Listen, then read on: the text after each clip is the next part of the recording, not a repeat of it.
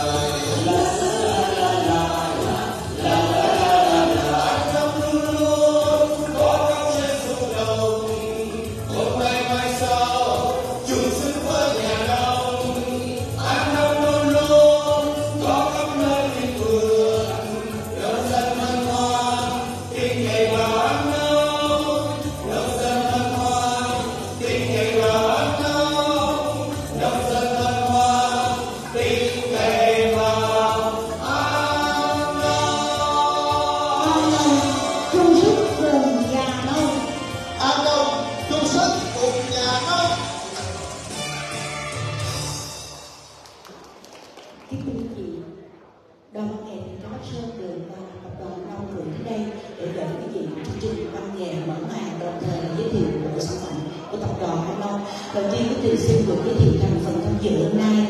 À, Quốc Thụy tổng giám đốc tập đoàn hay không con gái thứ chín của nhạc sĩ Bắc Sơn. Tiếp theo là ca sĩ Hạ Lâu con gái thứ năm của nhạc sĩ cùng với Đình Chinh cháu họ của nhạc sĩ Bắc Sơn. Đoàn nghệ thuật ca Bắc Sơn được thành lập à, và được sự hỗ trợ của tập đoàn An Nông để hát những chương trình uh, hội thảo và những chương trình từ thiện đã kết hợp với rất nhiều văn nghệ sĩ nổi tiếng. Thì xin được giới thiệu nữ ca sĩ Bích Phượng con gái của nghệ sĩ nhân dân Úc Trà Ô nghệ sĩ Khánh Tuấn nghệ sĩ Hoàng Đăng Hoa và một lần nữa đoàn văn nghệ cùng giáo sư xin thay mặt cho tập đoàn mong gửi đến quý vị lời chào trân trọng nhất kính thưa quý vị ờ, chúng ta nhìn lên màn hình chúng ta thấy đây là nhạc sĩ Bắc Sơn là bao gồm của Thủy. Nhạc sĩ Bắc Sơn lại nổi tiếng trong lĩnh vực điện ảnh. Nhạc sĩ đã tham gia rất nhiều phim của hành phim giải phóng và nhiều hành phim khác, như hành phim Nguyễn Đình Chiểu vào trước và vào sau năm 1975 trước 1975 thì nhạc sĩ có hai show kịch trên này được hình là chương trình quê ngoại và chương trình kịch trường thủy. Kính thưa quý vị à, nhạc sĩ mất đi vào năm 2005 và để lại cho chúng ta rất nhiều những nhạc phẩm nổi tiếng. Và sau đây gì một nhạc phẩm rất là quen thuộc của nhạc sĩ Bắc Sơn.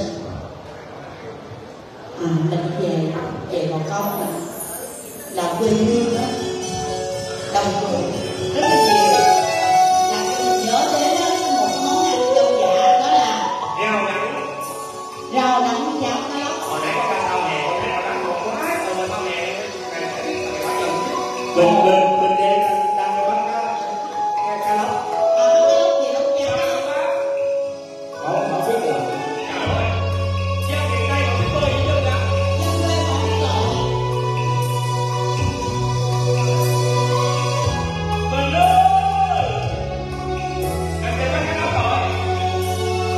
Ele